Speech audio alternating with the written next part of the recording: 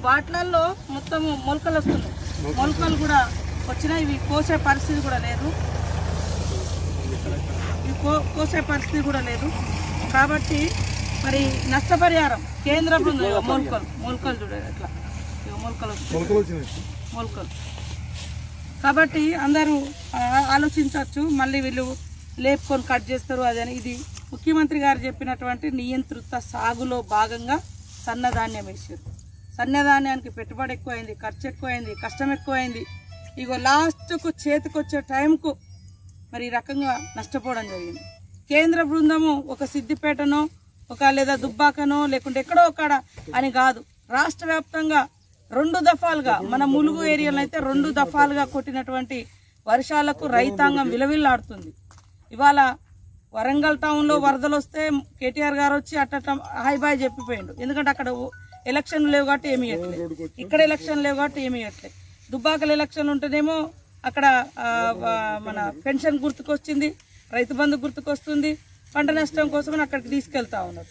కేవలం ఓట్ల కోసమే కాదు ప్రజలను ఆదుకునేటువంటి చిత్తశుద్ధి ఉంటే వెంటనే కలెక్టర్లకు ముఖ్యమంత్రి గారు ఆదేశించి ఎక్కడెక్కడైతే పంటలు నష్టపోయినటువంటి రైతులు ఉన్నారో ఈ రకంగా వాళ్ళ వ్యవసాయ క్షేత్రాల్లోకి వ్యవసాయ అధికారులను పంపించి వెను వెంటనే సర్వే చేయించి ఎకరానికి మినిమంగా ఇరవై నుంచి ఇరవై ఐదు వేల నష్టపరిహారం కనీసం వాళ్ళు కౌలుకు తీసుకుంటేనే ఎకరం ముప్పై వేలు పెట్టి తీసుకుంటా ఉన్నారు.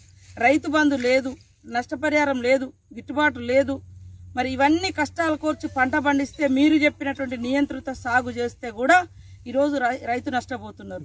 దయచేసి హైదరాబాద్లో ఐదు వందల కోట్లు కాదు ఐదు వేల కోట్లు పెట్టండి. హైదరాబాద్ను అన్ని రకాలుగా అభివృద్ధి చేయండి. మీరు డెబ్బై వేల కోట్లు పెట్టినటువంటి కూడా అవినీతి పరమైంది కాబట్టే ఈరోజు నీటి బుడగలు ఎక్కడికక్కడ మోరీలు నోర్లు తెరిచి ఉన్నాయి. నీళ్ళు ఒక్క చుక్కబడ్డ వరద అయిపోతుంది కానీ దానితో పాటు రాష్ట్రంలో రైతులు ఈ దేశానికి వెన్నెముక. వారి నడ్డి విరిచే విధంగా ఈరోజు వ్యవసాయ ఈ వర్షం ప్రమాదం చేసింది కాబట్టి ప్రాబ్లం క్రియేట్ చేసింది కాబట్టి అపారమైనటువంటి నష్టం వచ్చింది కాబట్టి ప్రతి రైతును ఆదుకునే విధంగా ఇప్పటికే పదివేల కోట్లని ప్రాథమిక అంచనా వేసిరు కేంద్ర బృందం వచ్చి. ఇంకా ఈ ప్రాంతాలు తిరగనే లేదు. ఇవన్నింటిని కూడా పరిగణలోకి తీసుకోవాలి. దయచేసి ఎలక్షన్ రాజకీయము ఎలక్షన్ పాలిటిక్స్ ఆ జిమిక్కులొద్దు. ఎవరు నష్టపోయారో వాళ్ళకు మొన్న కూడా ఇక్కడ ఆగస్టులో కూర్చున్నటువంటి భారీ వర్షాలతో కూడా పెద్ద ఎత్తున ఇండ్లు కూలిపోవడం జరిగింది. మరి వాళ్ళకు కూడా మీరు ఎలాంటి నష్టపరిహారం ఇవ్వలేదు. ఖచ్చితంగా వారికి కూడా లక్ష రూపాయలు పెట్టి మినిమంగా ఇండ్లు కట్టియండి. కనీసం లక్ష రూపాయలు ఇవ్వండి. పాక్షికంగా దెబ్బతిన్న వాళ్ళకు యాభై వేలు ఇవ్వండి. నష్టపోయిన రైతులను కనీసం ఇరవై ఐదు వేలను ఎకరానికి ఇచ్చి ఆదుకోవాలని మేము మొన్న కూడా మా నాయకులు ఇక్కడ మంగపేటలో పెద్ద ఎత్తున ధర్నా చేయడం జరిగింది. ప్రభుత్వం దృష్టికి తీసుకురావడం జరిగింది.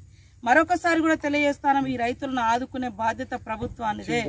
ఇవాళ ఎలక్షన్ల ఎలక్షన్లు ఉంటే తక్షణ ఓట్ల కోసం ప్రభుత్వ డబ్బుతోటి మీరేదో ఆదుకున్నట్టుగా చెప్పి ఓట్లు వేయించుకోవడం కాదు. ఎలక్షన్లు ఉన్నా ఎలక్షన్ లేకున్నా ఏ ప్రజలకు అన్యాయం జరిగినా ఏ రైతుకు నష్టం జరిగినా ఏ పేదవాళ్ళు ఇల్లు కూలిపోయినా ఏ ఎవరికి నష్టం జరిగినా అది హైదరాబాద్ కావచ్చు హన్మకొండ కావచ్చు ములుగు కావచ్చు లేదా భూపాలపల్లి కావచ్చు ఇంకో మంగపేట కావచ్చు ఏదైనా కావచ్చు అందరినీ ఒకే సమానంగా నష్టాన్ని పట్టి వాళ్ళకు రిలీఫ్ ఇవ్వండి అని ఈ సందర్భంగా కోరుతా ఉన్నాను ఖచ్చితంగా రైతులు ఇప్పటికే ధాన్యం కొనుగోలు చేస్తలేరని రోడెక్కిరు నిన్న మొక్కజొన్న కొనాలని రోడెక్కిండ్రు.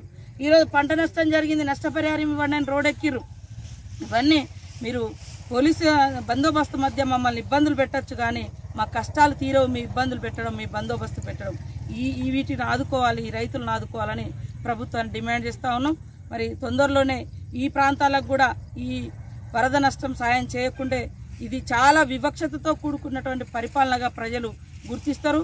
మరి ఖచ్చితంగా ప్రతి రైతు రోడ్డెక్కుతారని కూడా ఈ సందర్భంగా ప్రభుత్వానికి తెలియజేస్తాను మీరు కేంద్ర బృందం వచ్చి ఇంకా ఈ ప్రాంతాలు తిరగనే లేదు. ఇవన్నింటిని కూడా పరిగణలోకి తీసుకోవాలి. దయచేసి ఎలక్షన్ రాజకీయము ఎలక్షన్ పాలిటిక్స్ ఆ జిమిక్కులు వద్దు ఎవరు నష్టపోయారో వాళ్ళకు మొన్న కూడా ఇక్కడ ఆగస్టులో కూర్చున్నటువంటి భారీ వర్షాలతో కూడా పెద్ద ఎత్తున ఇండ్లు కూలిపోవడం జరిగింది. మరి వాళ్ళకు కూడా మీరు ఎలాంటి నష్టపరిహారం ఇవ్వలేదు. ఖచ్చితంగా వారికి కూడా లక్ష రూపాయలు పెట్టి మినిమంగా ఇండ్లు కట్టియండి. కనీసం లక్ష రూపాయలు ఇవ్వండి. పాక్షికంగా దెబ్బతిన్న వాళ్ళకు యాభై వేలు ఇవ్వండి.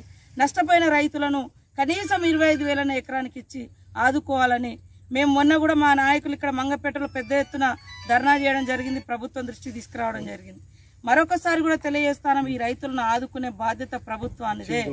ఇవాళ ఎలక్షన్ల ఎలక్షన్లు ఉంటే తక్షణ ఓట్ల కోసం ప్రభుత్వ డబ్బుతోటి మీరేదో ఆదుకున్నట్టుగా చెప్పి ఓట్లు వేయించుకోవడం కాదు. ఎలక్షన్లు ఉన్నా ఎలక్షన్ లేకున్నా ఏ ప్రజలకు అన్యాయం జరిగినా ఏ రైతుకు నష్టం జరిగినా ఏ పేదవాళ్ళు ఇల్లు కూలిపోయినా ఏ ఎవరికి నష్టం జరిగినా అది హైదరాబాద్ కావచ్చు హన్మకొండ కావచ్చు ములుగు కావచ్చు లేదా భూపాలపల్లి కావచ్చు ఇంకో మంగపేట కావచ్చు ఏదైనా కావచ్చు అందరినీ ఒకే సమానంగా నష్టాన్ని పట్టి వాళ్ళకు రిలీఫ్ ఇవ్వండి అని ఈ సందర్భంగా కోరుతా ఉన్నాను ఖచ్చితంగా రైతులు ఇప్పటికే ధాన్యం కొనుగోలు చేస్తలేరని రోడెక్కిరు నిన్న మొక్కజొన్న కొనాలని రోడెక్కిండ్రు. ఈరోజు పంట నష్టం జరిగింది నష్టపరిహారం ఇవ్వండి అని రోడెక్కిరు ఇవన్నీ మీరు పోలీసు బందోబస్తు మధ్య మమ్మల్ని ఇబ్బందులు పెట్టచ్చు కానీ మా కష్టాలు తీరవు మీ ఇబ్బందులు పెట్టడం మీ బందోబస్తు పెట్టడం. ఈ ఈ వీటిని ఆదుకోవాలి ఈ రైతులను ఆదుకోవాలని ప్రభుత్వాన్ని డిమాండ్ చేస్తా ఉన్నాం. మరి తొందరలోనే ఈ ప్రాంతాలకు కూడా ఈ వరద నష్టం సాయం చేయకుండే ఇది చాలా వివక్షతతో కూడుకున్నటువంటి పరిపాలనగా ప్రజలు గుర్తిస్తారు. మరి ఖచ్చితంగా ప్రతి రైతు రోడ్డెక్కుతారని కూడా ఈ సందర్భంగా ప్రభుత్వానికి తెలియజేస్తాము.